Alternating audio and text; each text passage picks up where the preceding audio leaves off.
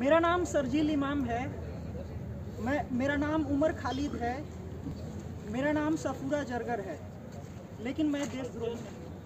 साथियों, मेरे लिए कहना आसान है कि मेरा नाम सरजील है, मेरा नाम उमर खालिद है और मेरा नाम सफूरा जरगर है।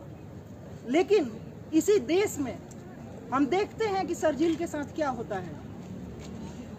वह अपने अपने लोगों के हकों के लिए जब सड़कों पे उतरता है चक्का जाम करता है तो उसे देशद्रोही बना दिया जाता है, उसे देशद्रोही बता दिया जाता है।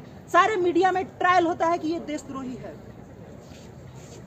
मेरे लिए आसान है यहाँ खड़े होकर बोलना, एक सेफ़ स्पेस में। लेकिन इस देश के कई मुसलमान जो इस देश के कई अलग अलग हिस्सों में रहते हैं, उनके लिए ये खड़ा खड़े होना और अपनी बातों को कहना उनके लिए आसान नहीं है।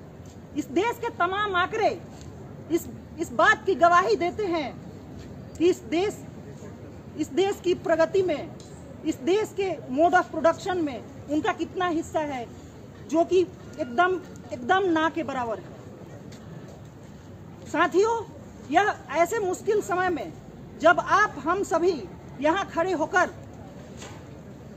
सरजील, साथी सरजील के दो साल जेल में बिताने के मौके पे यहाँ आए हैं, अपनी बात रख रहे हैं, एक दूसरे के साथ सॉलिडेरिटी पेश कर रहे हैं। तो हमें ये समझना पड़ेगा कि ये लड़ाई यही नहीं खत्म हो जाती है।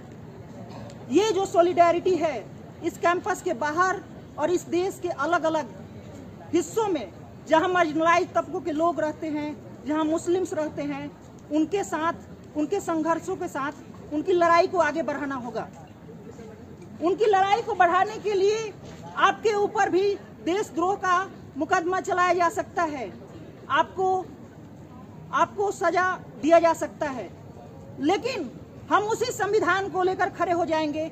उसी कंटेम्प्ट ऑफ़ कोर्ट एक्ट के सेक्शन फाइव के साथ खड़े होकर हम बोलेंगे कि नहीं, ये हमारा राइट है।